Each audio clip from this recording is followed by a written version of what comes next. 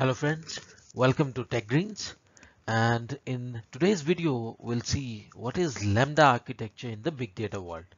So there are two prominent architectures currently uh, available in the big data uh, space. One is the Lambda architecture which is kind of a de facto and uh, uh, most of the systems are designed with Lambda architecture and the another architecture pattern available is the Kappa architecture.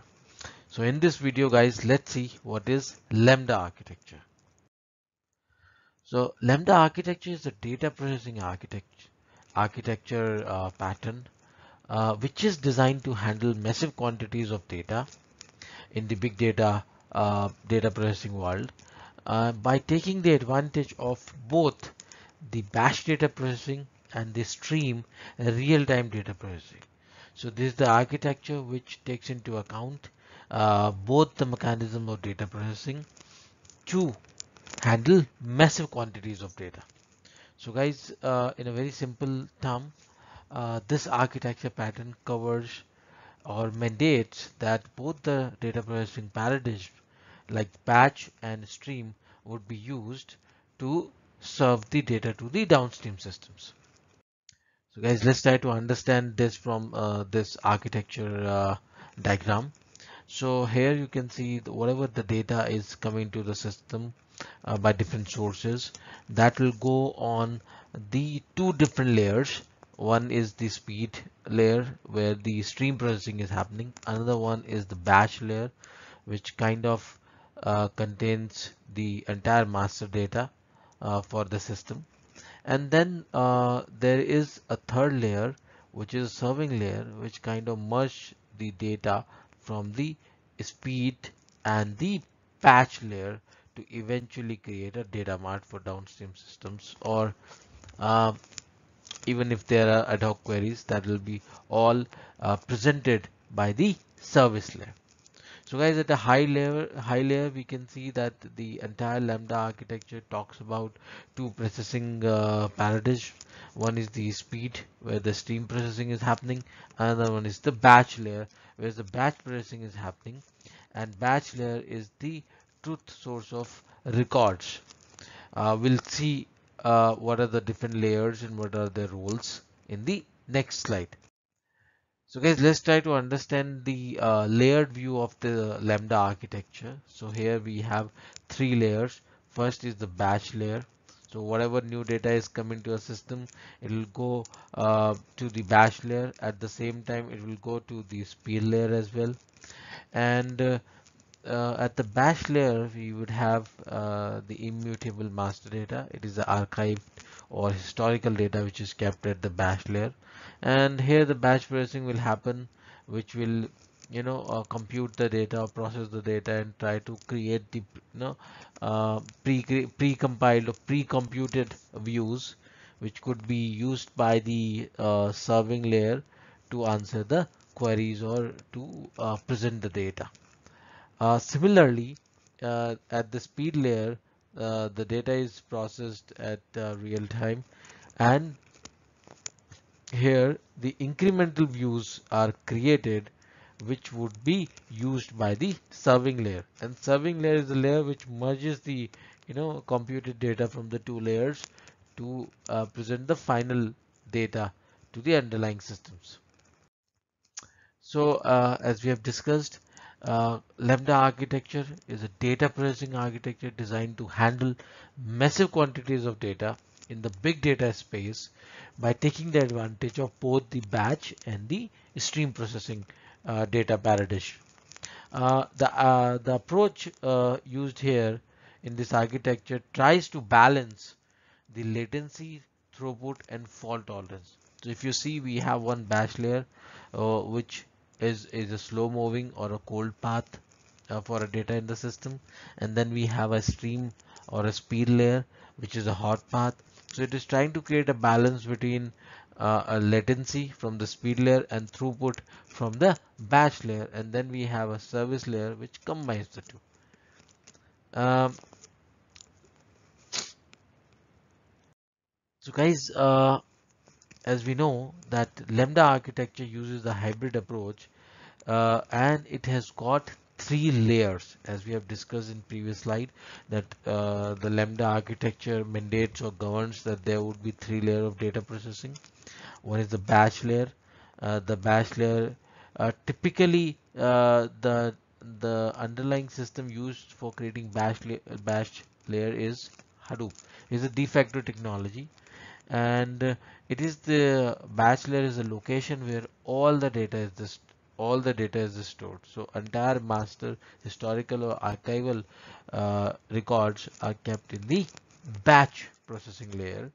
Uh, it's also a cold data path because it keep the archival or the slow moving data uh, or say the entire data into the system. Then second is the second layer is the speed layer what is called as speed layer it is meant to process the current or the real-time data coming to a system and this is the hot data path. So whatever uh, data is coming to a system it will be processed by speed layer in the real time and it will be processed by the batch layer in the batch mode. So the data is uh, collected and then a batch run would happen at a scheduled time and you know pre uh, computed views would be created but at speed layer in the real time processing will happen and incremental views will be created in the real time or near real time then the third layer is the serving layer. Uh, this is the layer which is meant to uh, you know answer the queries or any kind of queries or uh, present data to the downstream systems etc this is the final data presentation layer. And this layer merges the data from both the batch and the speed layer so from batch it will be able to uh, achieve the throughput. And with the speed layer it will be achieve the uh, latency. So the idea here is to create the right balance between the throughput and the latency. So guys let's discuss what what are the other things happen at the batch layer. What are the different things happen at the batch layer? So batch layer actually pre-computes result using a distributed processing system which is 99% uh, Hadoop HDFS world. Uh, the batch layer aims at you know perfect accuracy by being able to process all the available data when generating views. So this this layer is meant for doing the heavy lifting in the system and it is meant to process the entire master historical data to create the pre-computed views which could be used by serving layer to present the data. Uh, output is typically stored in the read-only database with updates completely replacing existing pre-computed views. Uh, that's why Hadoop is comes into the picture as the updates doesn't happen into the Hadoop. It's like uh, write once. As we have noticed, as we have discussed, Apache Hadoop is the de facto standard batch processing system. So now in now we'll look at what are the different things happens at speed layer and what is the purpose of speed layer. So speed layer processes data streams in the real time or real, near real time and it doesn't require to process the complete historical or metadata. It only processes that smaller pieces of data which is coming between say two rounds of batch. Every time a batch will run it will have to process the complete amount of data but if, if speed layer will only process the data which is coming between the two batches. So it only process the delta. Uh, this layer is meant to minimize latency uh, you know so that data uh, it can be processed quickly as and when it is coming to a system which helps business user which help business user to adjust decision making and respond quickly to the any kind of uh, trends emerging out of that uh, stream data processing or near real-time data processing. Uh, one important fact that we need to remember that uh, whatever is processed at the speed layer is also copied into the batch layer because batch layer is the entire system of records so everything is copied into the batch processing layer uh, and another thing to gain the uh, you know, low latency at the speed layer once the data is processed in the speed layer it is cleared deleted uh, so that we can create way for the next incoming data so nothing is uh, persistently kept at the uh, speed layer and we keep on creating the incremental views at the speed layer. So guys, now look, look at the middle and the most important layer, which is the serving layer. This is the layer which is meant to present any kind of data to the downstream systems. As we can see, as you can see in this picture here, it is merging the views created from the batch and the views created from the speed layer together to, to answer any kind of ad hoc queries. So output from both the batch and speed layers are stored in the serving layer and it responds to the ad hoc queries you know by merging the batch and the uh, pre-computed views from the batch and uh, incremental views from the speed layer.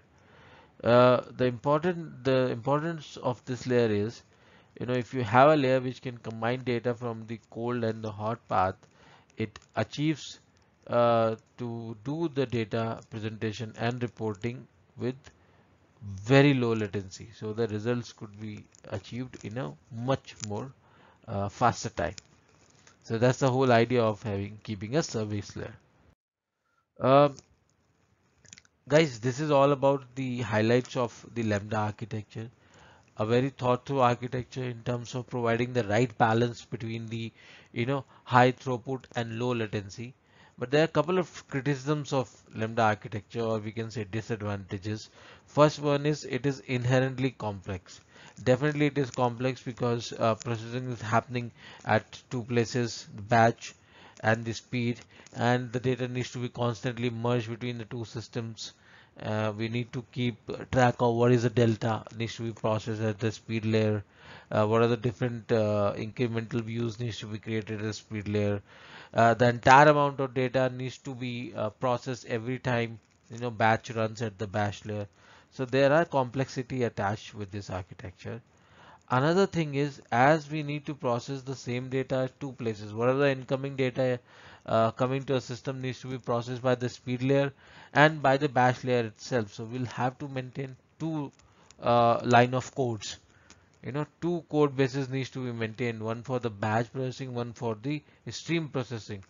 And uh, uh, what are the business logic you will have to change for that data processing. It needs to be done on two places. So there's always uh, a difficulty in terms of keeping the two code bases or two business code tracks in sync. And this is also one of the uh, disadvantages of a, uh, or a criticism of lambda architecture. So guys that's it in this particular video. Next video we'll look the another emerging or the current uh, architecture of time kappa.